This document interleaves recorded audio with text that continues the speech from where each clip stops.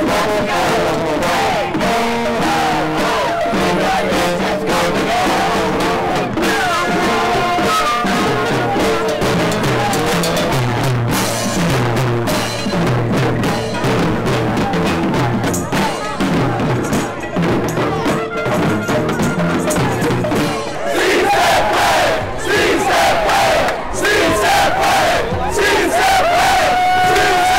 Pues estamos pidiéndole aquí a Obama que, que cumpla sus promesas. Queremos que nos arreglen papeles.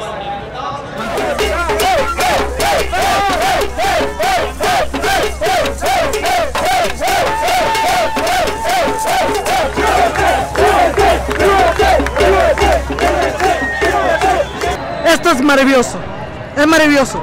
Pero si tenemos más todavía, más la presión. ¿verdad? Nos van a hacer más caso todavía. Todos aquí estamos representando a los que necesitan este bill. Necesitan para realizar sus sueños. Aunque yo soy ciudadano, aunque yo ya me gradué de la high school y de la- del colegio, yo estoy aquí para poner mi voz.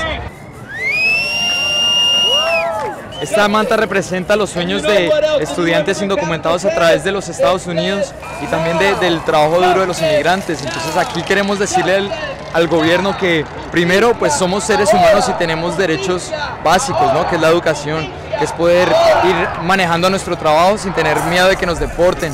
Eh, también la idea de que, de que paren las, las redadas, paren las deportaciones de nuestros papás, de nuestros amigos, eh, que eso está quebrando las comunidades y más que todo también pues que tengamos derechos en, el, en el trabajo, porque eso también nos está afectando muchísimo.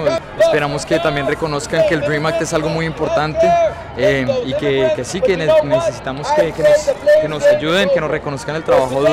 Nosotros sacamos la manta de la idea de, de las mantas que utilizaban los, los esclavos para encontrar el camino hacia la, la- libertad, ¿no? del sur al norte. Entonces nosotros dijimos, pues con esa misma idea vamos a usar esta manta para poner los sueños de cada estudiante. Este, este representa estudiantes indocumentados, que si pasara el Dream Act, eh, ellos podrían.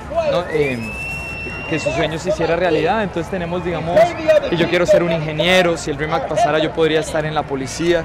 Entonces esta manta representa los sueños de 60, 80 mil estudiantes que se gradúan cada año de las, eh, de las escuelas de Indianápolis, que, perdón, de los Estados Unidos, que si pudieran ir a la universidad pagando algo como in-state tuition, eh, pues ayudaría muchísimo.